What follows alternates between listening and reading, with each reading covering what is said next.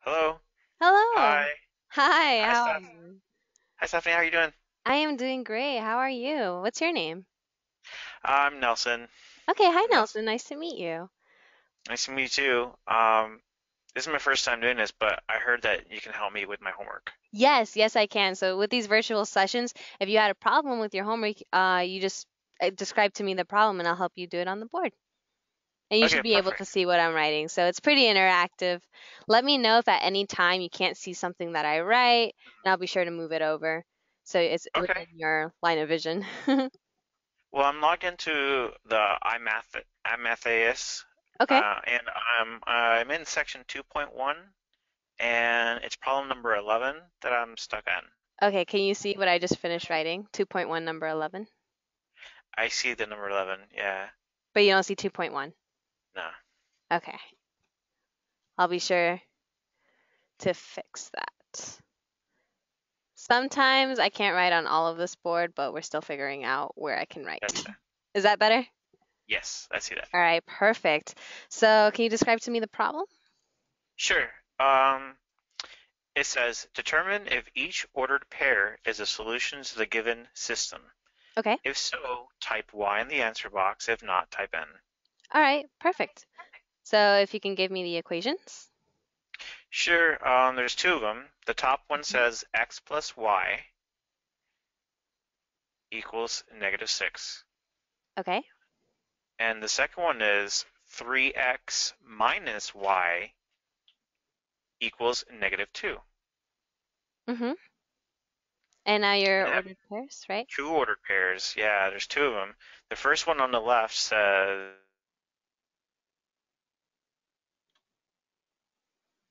Says, I believe you cut off again. I'm checking this time. I'm not muted. But it sounded like you said says and then you slowly died off.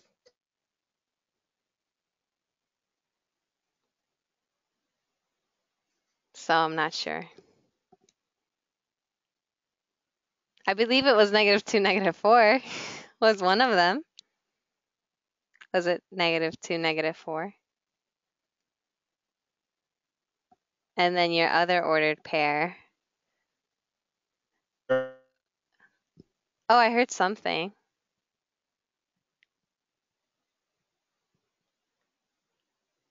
Oh no. We're having mic issues, I think.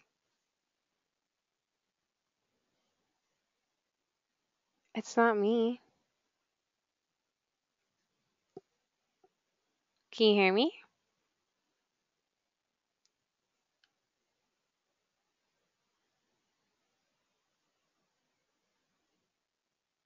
I would start working on the problem. I can do the problem actually with this ordered pair.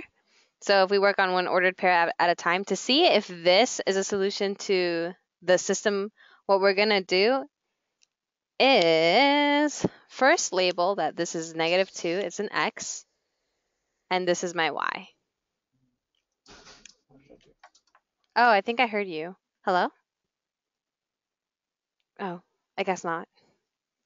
is 0 comma negative 6. 0 comma negative 6. Can you hear me? Yes. Okay. Sorry, I'm having a little problem with my microphone here at home. Oh, okay, it's no worries. I wasn't sure if it was my side or your side. But were you able to hear me the entire time? Yes, yes. Okay, all right, no worries.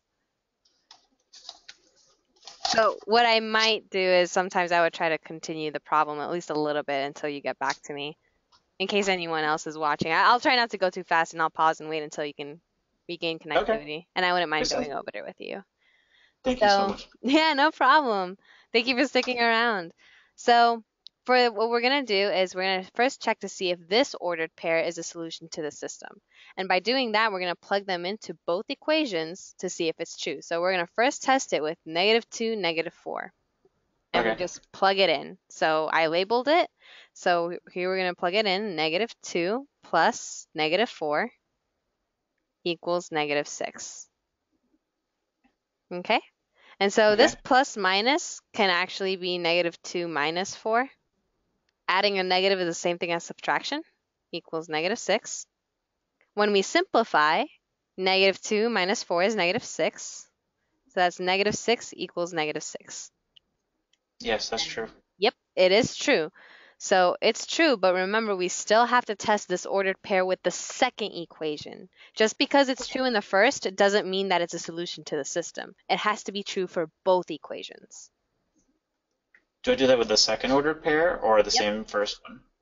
You do it with the second one. The second, oh no, we will do the second ordered pair, but we're doing just the first ordered pair Okay, that makes sense. because they want an answer for both. They want, is this a solution and is this a solution, right? Gotcha, that's a lot of work. Yeah, it's a, it's a it's a little bit of work, but it's not it won't be too bad. I'll do I'm right here and we'll do it together. Well, I actually started doing it with the other equation, but we're gonna do it with uh oh yes. Actually no. You see what so you see what we're doing here? We're doing with this equation Mhm. and just plugging in the same points. So 3 times x, remember our x is negative 2, minus the y, so that's negative 4 Four. equals Negative four. negative 2. Oh, I would have forgotten. negative four. Yeah, that actually happened to me a little earlier with a, a similar problem. so, neg- 3 times negative 2 would be then negative 6. Negative six.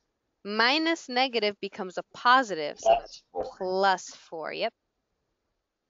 It's sometimes a little extra work just writing this, the minus, and then when you're substituting to do parentheses, but it really helps you not forget in case some people might overlook it and they think, oh, I'm plugging it in here, but you overlook a negative and you would have Mhm. written negative 6 minus 4. So be careful on that. Okay. It's a little extra work, but it'll, it'll be worth it for you to get the right answer. Negative 6 plus 4 now is negative 2. Negative two equals Mhm. negative two. And so now this is true. You see how now they're true for both equations? hmm So that means that this ordered pair is a yes. It is a solution to the system of equations. And a system of equations simply means that there's more than one equation. So you see how we have two equations to work with? hmm That's what system of equations means. More than one equation. Okay. Okay? So now what do I do with the second ordered pair? Now with the second ordered pair, we do the same thing we did with the first. Plug it into both of these equations and see if they are both true. They both have to be true for it to be a yes. Make sense? Yes, that makes sense. So we'll try it for, with the first equation and the second ordered pair. So, Zero mm-hmm, zero. uh, plus negative six. Yep. Equals negative six. Mm-hmm. Can you still see this, by the way? Yes. Okay. And now this becomes negative 6 equals Negative negative 6. Six. So that's true. That is true. And now when we're testing it with the second equation, still with the second ordered pair, so 3 times 0 minus negative 6 Minus negative six equals negative 2. And anything multiplied by 0 is just 0. is always zero. Negative minus is a plus. Positive. Mm-hmm. Positive six equals negative two. Yep. Is that Oh true? no, it doesn't. It doesn't equal. Yeah, no, this is not true. So you see how we have one equation when we plug it in, it's true, and the other one it doesn't. Overall, it's a no. It has to be true for both. If even one of them is wrong, it's just Uh-huh. just type in no right away. No. Just no. Yep. So this is a solution, but the second ordered pair is not. First ordered pair is a solution to the system. The second is not. All it So is is I just plug it in. In the system, Come again? it says enter your letter, your answer as letters. Oh, as letters. Exact- So, right. So they just want to, if it's a yes, then just type in Y. And Okay. just no. Is that what they the, they said, I think? Yeah, oh, I see. There's two blanks. Okay, it was confusing at first, but I can see the first blank is the first ordered pair. The second blank box is the second ordered pair. All right, thank you. You're welcome. Hey, Stephanie, I have another question. Okay, yeah, sure, Nelson, go ahead. So this question is from a section, um, and all the other questions are the same. Okay. It's uh, section 2.3, Uh, problem number one, actually. All right, no worries. And uh, can you describe to me the problem and the section title if you Yeah. can? Sure. Um, it's the title is Solve Systems of Linear Equations by Elimination or Addition. Okay. All right, so it says solve the system of equations by the addition elimination method. No, type in the zero zero for infinity many solutions F Mm-hmm. and DNE for no solution. Okay. It gives me two equations. Okay. And it says enter your answers in the form of x, y, where Okay. x equals blank and y equals blank. Mm-hmm. Um, I can give you the two equations. Yes, please. The first one is 2x Mm-hmm. plus 3y equals negative 1. And then the other question, I mean, the other equation, I'm sorry, is negative 2x minus 2y equals negative 2. Okay. Can you see how I wrote 2.3 number one over here? Absolutely. Okay, perfect. So when it comes to the elimination and addition method, you might see it one way or the other. It both means the same thing. We're trying to eliminate the variables, and we're going to eliminate one variable at a time. So the whole point of this is to check, do we want to eliminate x's or y's? And what How we I want to check Right. We're gonna look and compare. So we see this is a 2x and this is a negative 2x. We're gonna end up adding all of these down, your x's, your y's, and then the constants over here. You see how they have the coefficients, so the numbers in front of the variables, 2 and negative 2? You want to have the same value but opposite signs. So this is a positive 2, this is a negative 2. Positive 2x, negative 2x. That means that when you add them, what's going to happen? They're going to cross out, right? So cross the x's out? Yes, because they're already set up that way. You have a positive 2x and a negative 2x. So when we're adding these down, we have zero x's left down here. And in this Do case, to write the x also? You don't have to. You can, but I wrote it down just so you can see what would happen. You can just write down zero if it's a lot easier. So Okay. just a regular zero. And we're going to end up adding all of these down. So x's cancel out. What about the y's? When we're, remember when we're adding, we're only adding the numbers in the front. And we keep the variable the same. So 3y minus 2y is? 1y, Yes, and it's a positive 1y. So positive 1y. plus y. And you could choose to write the 1 in the front if you want to or not. Yeah. It's up to you. And then same thing when we're adding the coefficients, negative 1 plus negative 2. Two negatives added together make a bigger negative number, so it's 3. here, negative 3. Yes. And when we simplify this, it'll be y equals negative 3. Does this make sense so far? Yeah. Keep in Uh, mind that whenever we're doing elimination or substitution, your equations should be set up so that it's in this form. ax plus by equals c. And you want one equation to be right on top of the other. You're always going to be given two equations, and you want to make sure it's in this form. Your x's and, and y's are on one side equaling a number, which is your constant. A, B, and C are, are numbers. Does that make sense? That makes sense. Okay. So we when we solve for y, once you have one variable equaling a number, you can plug that in to either equation to get x, whichever one you want. Either equation, I'll even label it equation 1 or equation 2. Which one do you feel like plugging it into? Um, let's do equation 1. Okay, so if you if we plug y into equation 1, you'll still get the same answer regardless of which equation you pick. We'll have 2x plus 3, and because y is equal to negative 3, we're going to substitute that. So 3 times negative 3 equals negative 1. So are you with me so far? Yeah. Okay. When we simplify, it'll be 2x plus 3 times negative 3 is negative 9.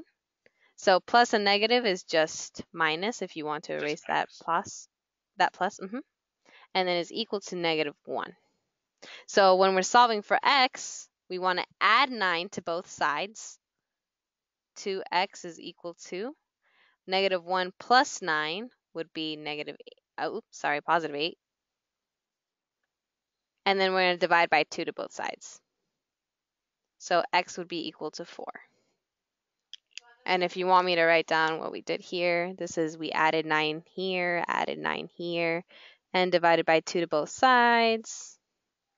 This is a positive 8, by the way. I'll just erase the that. So does this make sense? Yes. So x equals uh, 4, Mm-hmm. negative 4. Negative 4? Or is it Uh, positive positive 4, 4? sorry. X equals positive 4, and then y equals negative 3. So I entered that into iMathAS, right? Mm-hmm. Okay. Okay. I, I was confused at first because I thought it was like x equals 0 because we determined up there is not 0, but it's not really that. You have to plug it in to get x. Yes, yes. You Got need to plug it Okay. in. Once and you could have done it where you solved for the y's first. It doesn't matter whether you solve for y first or for x first. Just make sure that whichever variable you choose to solve for, plug it in to get the the the answer for the other variable. Gotcha. A yeah, value it the other looked like the other problems were very similar. Some of them had the Mhm. x and the y and separate on different parts of the equation.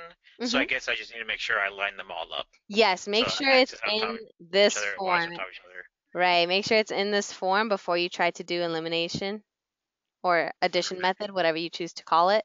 And you should be fine after that. And remember that the whole goal is to make sure that before you cross it out, they have to share the same value but opposite signs.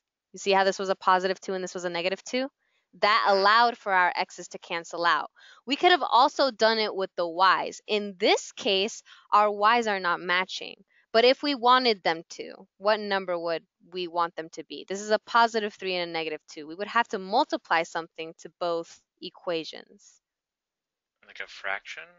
Not necessarily. A number that they can both go into, like 6.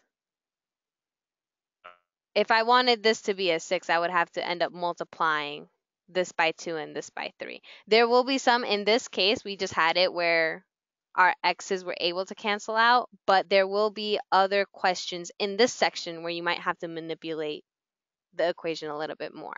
But if you have any questions, you can always come back and ask me. I know this one didn't demand it, but if you did have um, a question with one of those, be sure to come back and let me know, and I'll help. I'll walk you through it. Hey Stephanie, are you still there? Yeah, I'm still here, Nelson. What's up? Hey, I'm now in section 2.4, and it's says solving a system of linear equations by substitution now. All right, perfect. So substitution. Yeah, and all the questions look very similar to one another, uh, so I just really need help with number one. Perfect. So go ahead and uh, read me. I they should have given you two equations. Mm-hmm. Yep, it looks similar from before. Um, yeah. The first equation is x plus y equals negative 30. okay. And then the second one is, it's weird because it just says y equals 4x. Okay. Awesome. So for substitution, what you want to keep in mind is the word substitution. Substitution means plugging in something you already know. So you want to find y equals or x equals for one of your equations.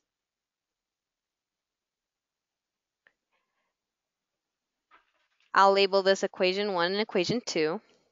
Do we have either x equals or y equals for equation 1 or equation 2? Um, Like just y equals. Just the y equals, yeah. Right. So you see how That's 4x. equation 2 is like that? y equals mm-hmm. 4x. That's mm-hmm. exactly what we're looking for.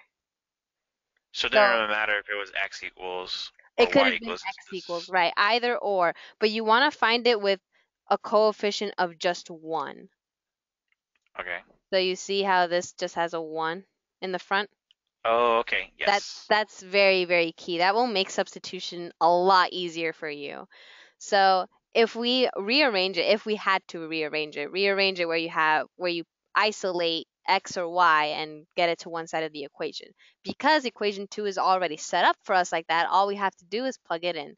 So what we're going to end up plugging in is if they give us this as an identity almost, you want to think about it, y Mhm. equals 4x, they're telling us that y is equivalent to 4x and we can substitute that in for the y in the first equation.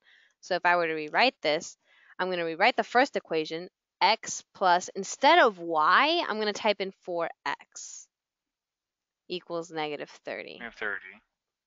right? So you see how in, instead of writing y, I substitute it for 4x because my second equation told me that y is equal to 4x. So I can make that substitution. Now, So, Mhm. uh-huh, okay. That makes sense. Okay. Yeah, so and the whole reason we're doing this is because I can't solve a system with two variables. I know only how to solve it with one variable, or at least that's what we know so far. So when they give us this, we're able to substitute it. And you see how now we only have an equation with only one variable, only x's? Mhm. I can combine those now. x plus 4x is 5x, 5x, right? Equals negative 30.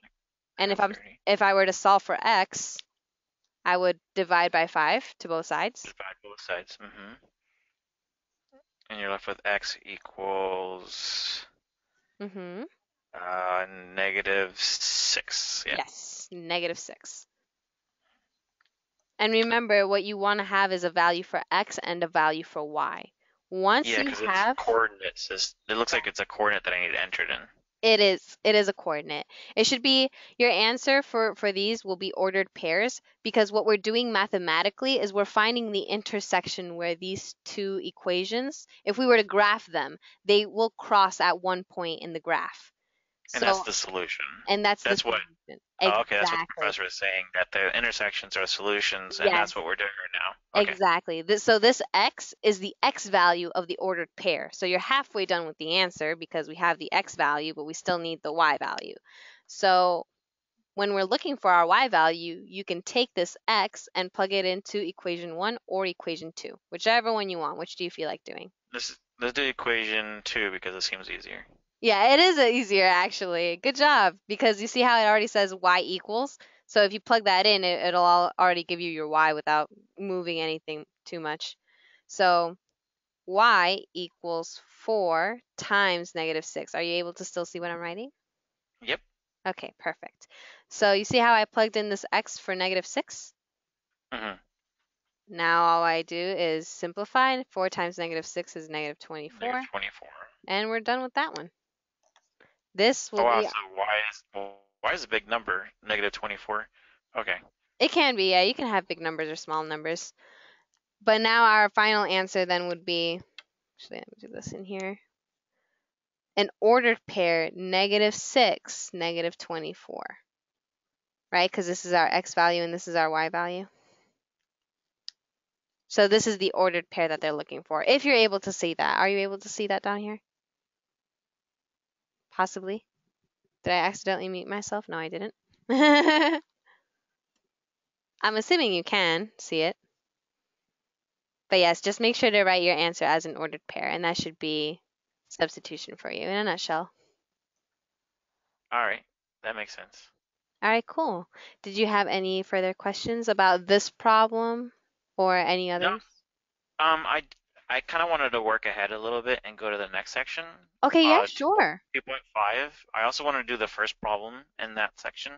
Okay, perfect.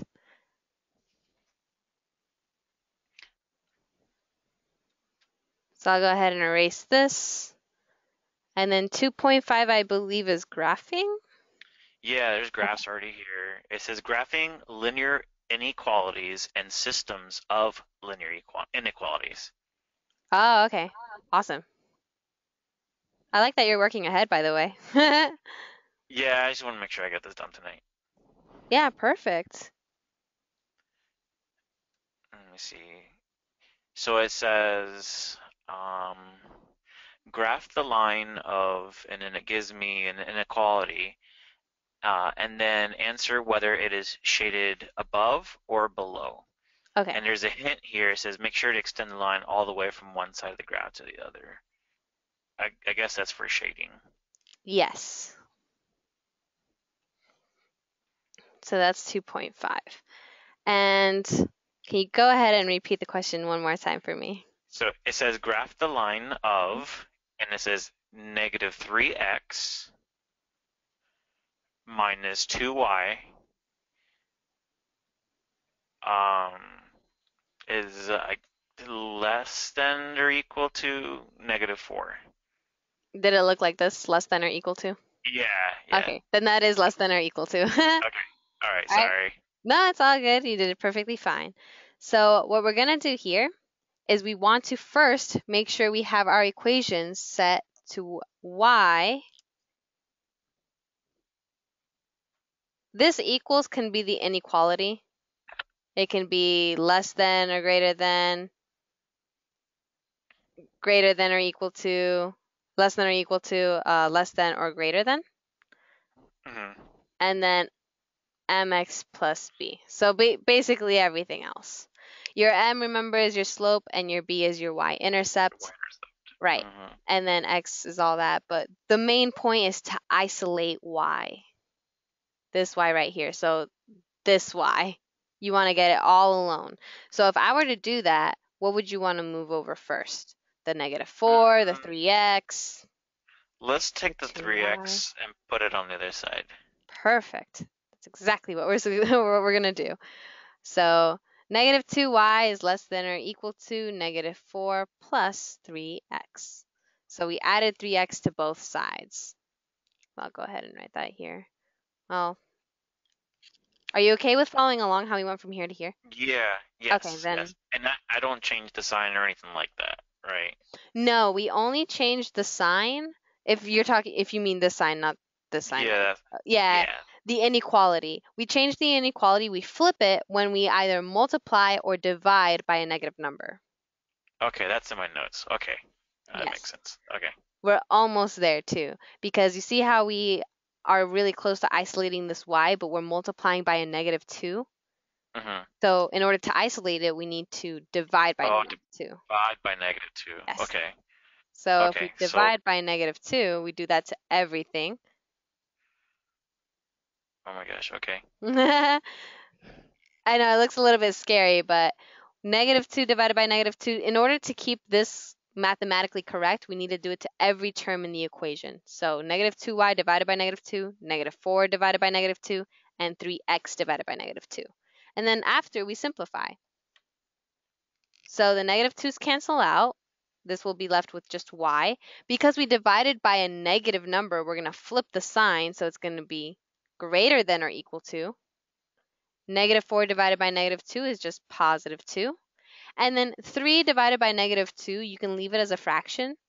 So plus, you could do plus negative 3 over 2 or 3 over negative 2. When you have a negative either at the denominator or in your numerator, you can take it out. So this can be like a minus 3 over 2. Does that make sense? Yeah. Yes. Okay. the whole thing is negative. The whole thing would be negative, yep. And then x is just outside. If x is in the numerator, you can bring it out in the front like that. So are you okay with how we got here? Yes.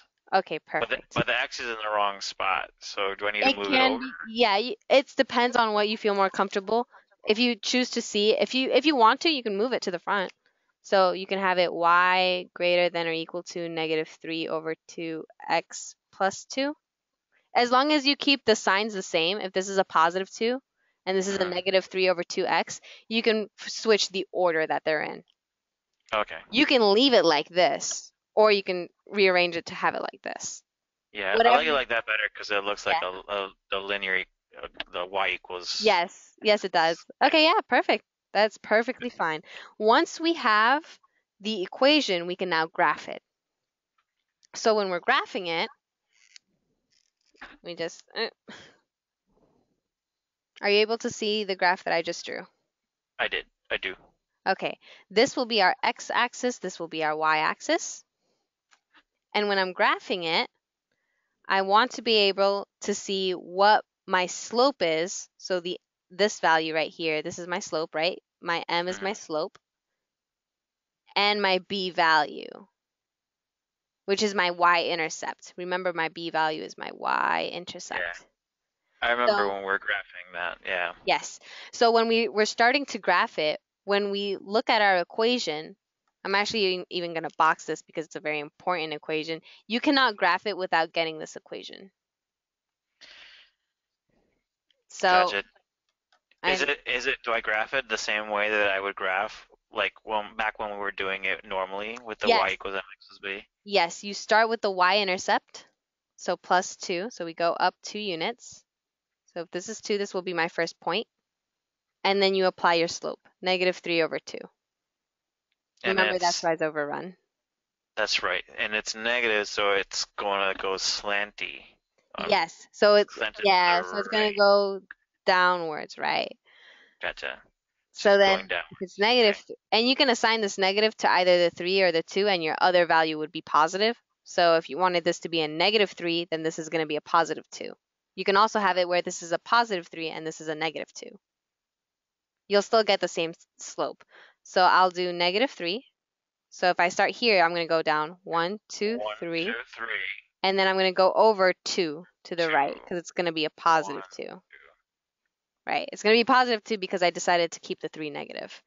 If I also wanted to have the negative 2 here and this be positive, I mean, the same thing. If it was a positive 3, 1, 2, One, 3, two, three. and then my negative 2 would be negative, so 1, 2. To the left. You see how it's still going to be the same line? Same line, yeah. Okay. Make sense so All far? right. Cool. Yeah. Yeah, I, and this I, is an inequality, so you also had shading, right? I have shading. The graph is shaded, and then it says below or above the line. How do I select which one is which? That depends on the inequality. The, when you're looking at the inequalities, there's actually two things you want to be able to identify, and that's going to be what type of line it is and what type of shade it is. So when we're determining what type of line it is, it can be a solid or a dashed line. So can you see this below? Yes. Okay. So when determining the type of line, both less than or equal to and greater than or equal to is going to be solid. A solid line simply means that it's going to be solid just the way I drew it already. So you see how this is just all solid? Your other Yeah. option is that it could be a dashed line. That's with less than or greater than. So without the bar underneath, you almost want to think of this solid bar as like, oh, it should be a solid line. mm, okay. That's an easy way to remember. Yep. And then if it doesn't have the the line underneath, then it's going to be a dashed line. Dashed Dashed. lines just look like this. So in this case, it's going to be a solid line because Which we is- have a less than or equal right. to, which is what you drew so far. Well, we have a greater than or equal to. Remember, we flipped it in our calculation. This is less than or equal to. This is greater than or equal to. Right? oh no, I think you cut off again. Come back. I I'm almost afraid to keep writing down here. I don't know if you can see this. But now we're going to determine what type of shade it is. And when we determine the type of shade, that's going to be less than or equal to or great or just regular less than is going to be shade below. So shade below the line.